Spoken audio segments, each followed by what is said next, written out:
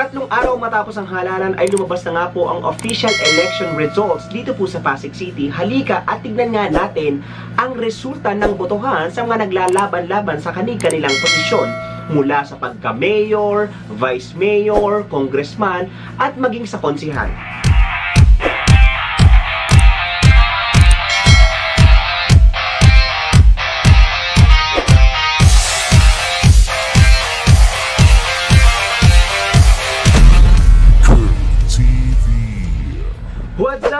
Up, Kurt TV Natics? Welcome back to my channel and for today's video, tatlong araw matapos ang botohan ay inilabas na nga ng COMELEC ang partial and official results at 100% of election returns. At dito nga sa Pasig City, medyo naging mahigpit din naman ang labanan sa kani-kanilang posisyon dito sa Pasig City local election. Subalit, giting ng Pasig pa rin ang nagwagi sa huli.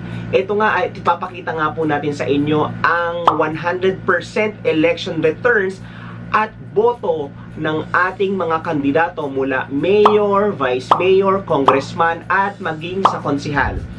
Tignan naman natin ngayon ang pinakahuling resulta ng botohan sa pagka-mayor dito sa Pasig City local election na kung saan ay naglalaban ang incumbent mayor na si Mayor Vico Soto at ang incumbent Vice Mayor din naman na si Vice Mayor Io Caroncho Bernardo. Si Mayor Vico ay nakakuha ng landslide victory laban sa kanyang katunggali na si Vice Mayor Io Caroncho Bernardo. Ang nakuhang boto ni Mayor Vico ay 335,851 votes laban sa 45,604 votes na nakuha naman ni Vice Mayor Io Caroncho Bernardo. Pagdating naman po sa Vice Mayor, ang magkakatunggali ay sina Dodot Jaworski, Junjun Concepcion at si Christian Sia. Si Dodot Jaworski po na ang ating Vice Mayor-elect ngayon ay nakakuha ng 205,250 votes at si Councilor Junjun Concepcion naman ay nakakuha ng botong 87,716 votes at ang nasa pangatlong posisyon na si Attorney Ayan Sia ay nakakuha naman po ng 76,028 votes. At sa mga pagkakonsihal naman, punta tayo doon sa District 1 dahil maganda din ang laban. Ang kailangan nating konsihal dito sa Pasig City sa ating konseho ay anim na konsihal. At nangunguna nga dito ang third time na tumatakbo na si Kiko Rustia. Nakakuha siya ng botong 80,136 votes. You know what guys, si Kiko talaga pangatlong beses niya na tumakbo pero sa pagkakataong ito at ibinigay na po talaga yon ng Diyos sa kanya. Pumapangalawa naman sa posisyon si Simon Romulo Tantoco na nakakuha ng 74,384 votes. Pumangatlo naman sa posisyon si Pau Santiago na nakakuha ng 61,789 votes. At gayon din naman sa pang-apat na posisyon si Volta de los Santos na nakakuha ng 51,745 votes. Ganon din naman si Cap Eric Gonzalez na nakakuha ng panglimang posisyon at ang kanyang boto ay 50,316 votes. At sa pang-anim naman ay nakapasok ang incumbent at sa kasalukuyang nakaupong konsehal ngayon na si Councilor Reggie Balderrama na nakakuha naman ng 49,297 votes. So yan po ang mga nanguna dito sa District 1 at talag yan po ang mga councilor-elect natin, yung top 6 na councilor-elect natin na nanguna dito po sa Councilor District 1. Magtungo naman po tayo sa Councilors District 2 yung top 6 na nanalo po ang ating bagong councilor-elect sa District 2. Nanguna po sa botohan si Angelo De Leon na nakakuha ng 138,427 votes. At pumangalawa naman sa posisyon si Cory Raimundo na nakakuha ng 120,977 votes.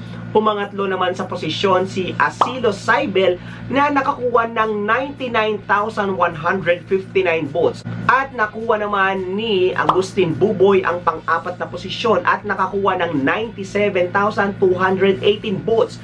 Nakuha naman po ni King Cruz ang panglimang posisyon na nakakuha ng 94,473 votes. At nakuha din naman po ni Maro Martires ang pang-anim na posisyon at nakakuha ng botong 75,566 votes.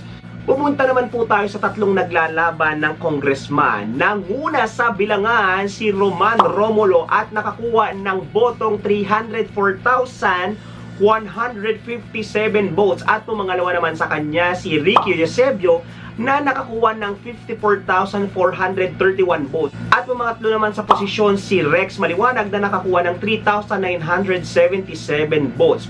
Muli, Pasigenyo, tayo ay tumindig at naniwala sa good governance na ipinapakita ni Mayor Vico dito sa Pasig City. Nasa chapter 2 na tayo ng transparency at good governance. Kaya naman pasigenyo, patuloy tayong magbatsyag sa mga platapormang ipinangako nila sa atin, sa mga platapormang inilatag nila sa atin at tayo ay maging good citizen ng Pasig City. At sa eleksyon ngang ito ay giting ng Pasig ang nagwagi or should I say tayo ang giting ng Pasig. Kaya naman, Pasigenyo, damhin natin ang good governance at transparency ng giting ng Pasig.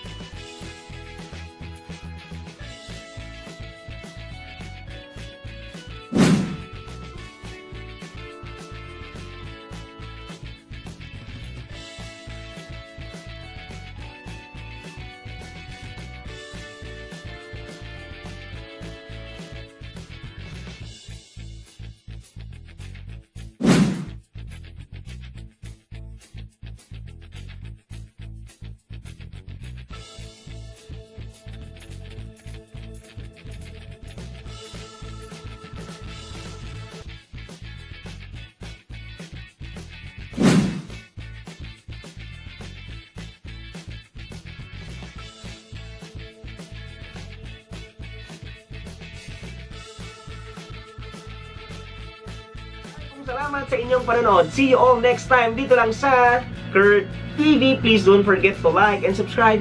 Bye!